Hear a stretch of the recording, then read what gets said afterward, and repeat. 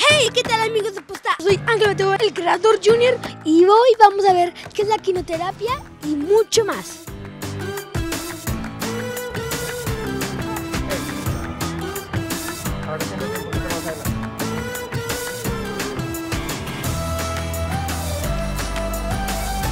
Y esto es parte de la quinoterapia en Yellowstone.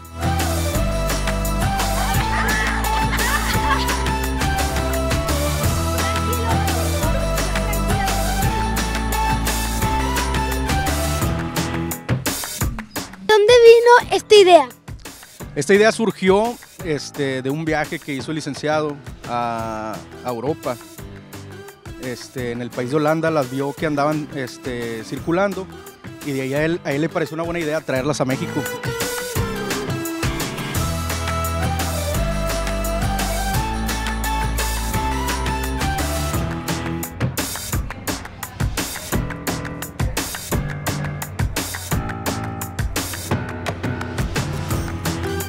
Aquí estoy con mi amiga Hola, soy Mónica, Ringmaster del Circo Atay de Hermanos.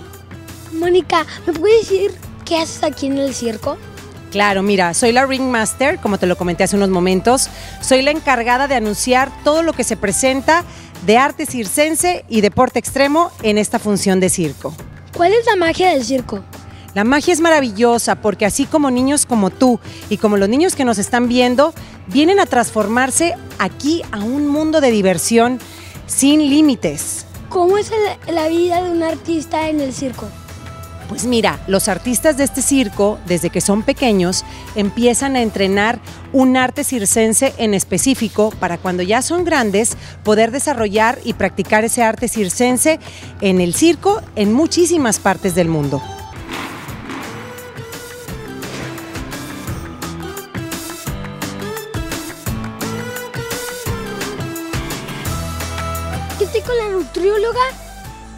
Nadie de la Garza. ¿Cómo estás? Muy bien, gracias. Buenas tardes. Buenas tardes. ¿Nos puedes platicar cómo es el alimento del cuál es, cómo es la alimentación de los animales? Sí, claro. Este, ¿De qué animal te gustaría saber? A mí me gustaría del rinoceronte. Ok, del rinoceronte. Bueno, a él le damos forraje. En la mañana le, le ponemos una porción de forraje que viene siendo sorgo y avena picado. Eso es para que lo pueda absorber mejor su intestino. También le ponemos un alimento que es especial para el rinoceronte, ¿sí? Y también le ponemos un poco de fruta. ¿Qué frutas le damos? Le damos manzana, papa eh, y zanahoria principalmente. ¿Cuál es su favorito? Eh, la manzana la favorita de él. ¿Qué dicen a la gente para que sepan que están muy bien alimentados?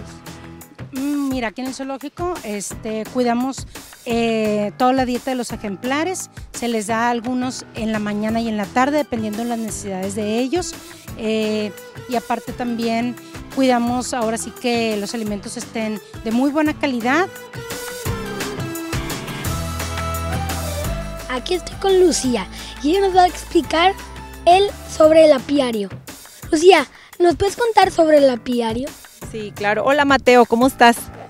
Hola. Bienvenido a nuestro apiario. Les damos la bienvenida a todos que nos visitan en nuestro apiario de nuestra empresa Azar de Allende. Te voy a explicar, un apiario se compone de un conjunto de colmenas. Es un conjunto de colmenas. Una colmena es una caja que vemos aquí, que te voy a mostrar ahorita, aquí con mi compañero Lupe. Nos va a ayudar a abrirla para poder mostrarte de qué es lo que se compone una colmena. Entonces, cuando es un conjunto de colmenas, es un apiario. Y están en, el campo, en lugares aislados de la población, cerca de las fuentes de agua y cerca de donde hay flores y néctar para que las abejas puedan tener acceso al alimento.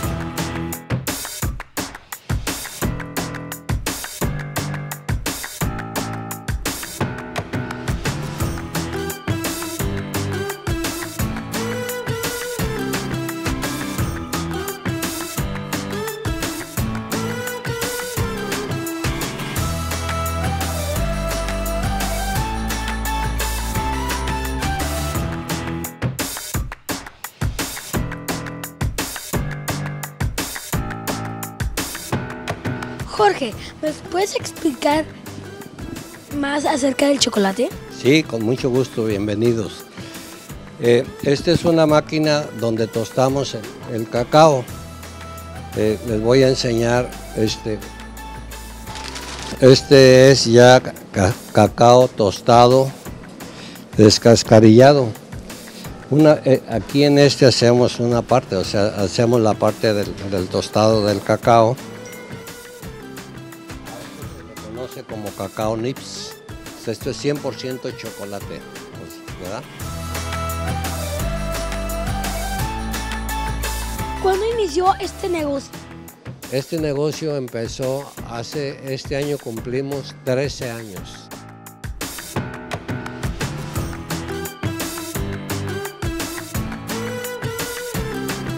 ¿Qué es diferente este chocolate a los demás?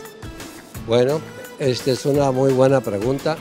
Este chocolate es un, eh, lo que estamos haciendo nosotros es un chocolate prácticamente, le podemos llamar artesanal.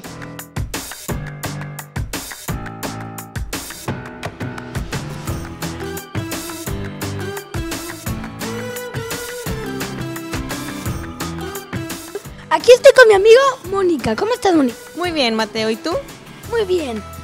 ¿De dónde salió la idea a luchar?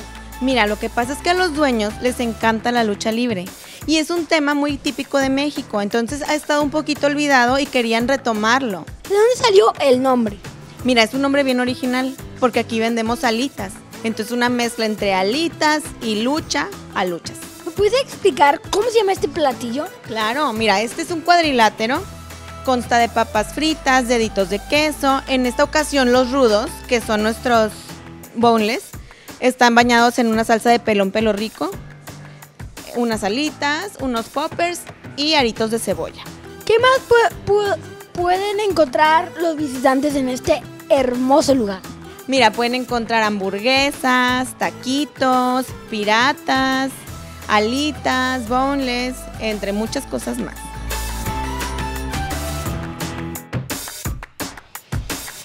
¿Puedes explicar de qué trata la exposición? Claro que sí, es una exposición que nos permite conocer más sobre nuestro cuerpo humano, cómo funciona cada parte de nuestro cuerpo, dónde se encuentra cada órgano, cuál es su función y lo más interesante de todo es que podemos descubrir cómo somos en el interior a través de cuerpos humanos reales.